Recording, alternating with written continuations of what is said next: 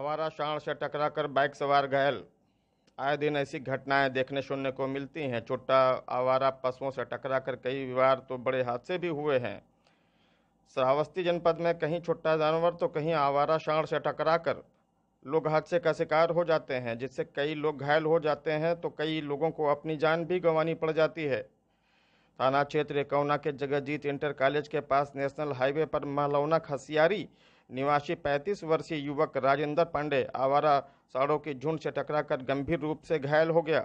स्थानीय लोगों ने 108 एंबुलेंस को फ़ोन लगाया, लेकिन एंबुलेंस के न पहुँचने पर घायल को रिक्शा में लादकर सीएचसी कोना पहुँचाया गया, जिसके बाद एंबुलेंस घटनास्थल पर पहुँची।